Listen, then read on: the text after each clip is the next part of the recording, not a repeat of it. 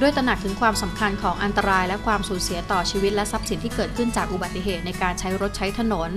บริษัทกลางคุ้มครองผู้ประสบภัยจากรถจำกัด ร่วมกับโรงพยาบาลบางปะกอก9อินเตอร์เนชั่นแนลและกองบังคับการตำรวจนครบาล 8 ขยายความร่วมมือในการส่งเสริมมาตรการองค์กร เพื่อความปลอดภัยทางถนน รวมกันสร้างจิตสำนึกและเข้มงวดในการขับขี่อย่างปลอดภัย เคารพกฎจราจร สวมหมวกนิรภัย 100% นายนพดลสันติภากรกรรมการผู้จัดการบริษัทกลางคุ้มครองผู้ประสบภัยจากรถจำกัดร่วมลงนามบันทึกความร่วมมือกับแพทย์หญิงเจริญจันทรกมลกรรมการผู้อำนวยการโรงพยาบาลในเครือบางประกอบ พร้อมด้วยพลตำรวจตรีริชากรจรเจนวุฒิผู้บังคับการตำรวจนครบาล 8 เพื่อให้ทุกโรงพยาบาลในเครือ และทุกสถานีตำรวจในพื้นที่ เป็นหน่วยงานต้นแบบด้านการสวมหมวกนิรภัย 100%และเป็นพื้นที่กวดขันวินัยจราจร โดยมุ่งหมายในการป้องกันลดอุบัติเหตุ ลดความสูญเสียแก่ทรัพยากรบุคคลเป็นสำคัญ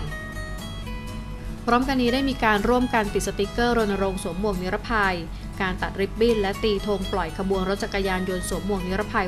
100%จากโรงพยาบาลบางประกอบ 9 ไปตามถนนพระราม 2 เพื่อเป็นการปลูกจิตสำนึกในการขับขี่ปลอดภัย และรณรงค์เชิญชวนให้ผู้ที่พบเห็นขบวนคาราวาน ได้ทราบถึงความสำคัญของการสวมหมวกนิรภัยและตระหนักถึงอันตรายและความสูญเสียจากอุบัติเหตุ เพื่อเป็นการร่วมกันลดจำนวนผู้บาดเจ็บ และเสียชีวิตบนท้องถนน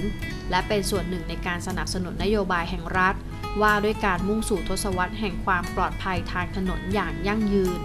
สำหรับประชาชนผู้ประสบภัยจากรถ หรือพบเห็นอุบัติเหตุสอบถามรายละเอียดเพิ่มเติมได้ที่ บริษัทกลาง call center